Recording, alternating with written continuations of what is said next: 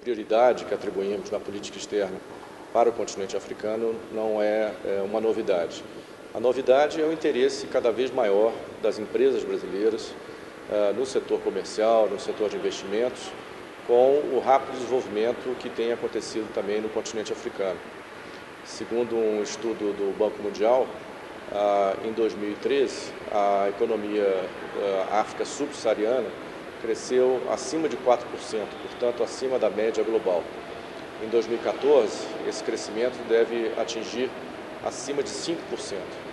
Ah, esse crescimento é muito baseado ah, em investimentos que esses países têm feito em infraestrutura, ah, em recursos naturais, mas também na expansão do consumo. Assim como no Brasil, muitos países da África têm passado por um fenômeno positivo de aumento da sua classe média, de um aumento do, do poder de consumo da sua população. E é esse movimento positivo ah, que ah, o Brasil quer também participar, quer como parceiro de muitos países africanos.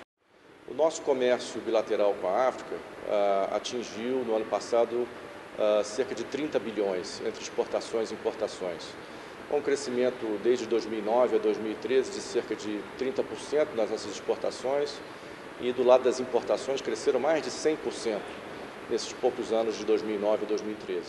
Grande parte das importações que vem da África vem da Nigéria, um país com, com o qual uh, nós temos uma relação uh, de importação importante na área uh, de produtos energéticos, né, sobretudo petróleo. Uh, também a Argélia é uma grande fornecedora de fertilizantes para o Brasil.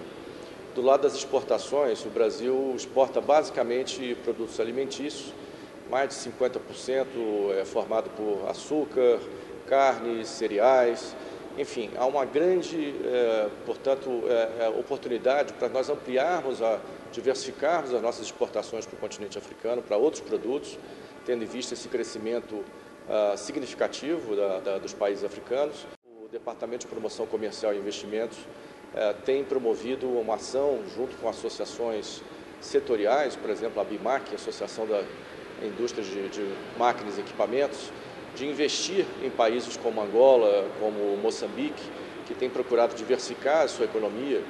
A Angola, por exemplo, quer sair da dependência do petróleo. Moçambique, por outro lado, quer desenvolver a sua indústria de transformação a fim de gerar empregos. E uma proposta que nós fizemos à BIMAC é levar empresas brasileiras para lá para começarem a produzir máquinas e equipamentos localmente, com conteúdo local, gerando emprego, em parceria também com o Senai, eh, que faz, portanto, uma, uma capacitação dos recursos humanos, com financiamento do BNDES.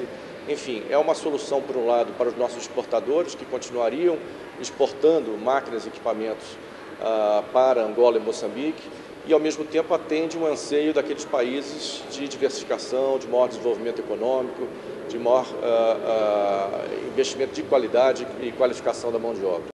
Uh, outro desenvolvimento importante recentemente foi a abertura do escritório uh, do BNDES ah, em Johannesburg, na África do Sul.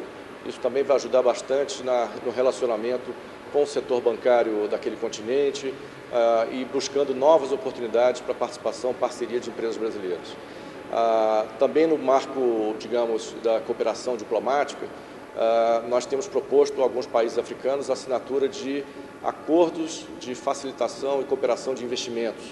Também dar uma segurança maior jurídica aos, aos nossos parceiros e aos nossos investimentos também naqueles países, facilitando, portanto, também a expansão dos investimentos brasileiros. Enfim, há uma série de iniciativas que têm sido feitas para ampliação do nosso comércio, do nosso investimento, e a África tem sido uma grande parceira e, sem dúvida nenhuma, a perspectiva para o futuro é muito positiva e as nossas embaixadas e consulados, os setores de promoção comercial estão lá para dar o apoio ao empresariado, também ao pequeno e médio empresário que quer exportar, buscando informações de inteligência comercial, ah, ajudando na organização de missões, agendando encontros, seja no setor privado, com o setor de governo. Ah, é para isso que nossos setores de promoção comercial estão lá e está, ah, evidentemente, à disposição dos pequenos e médios empresários também a todos aqueles que nos escutam. Muito obrigado.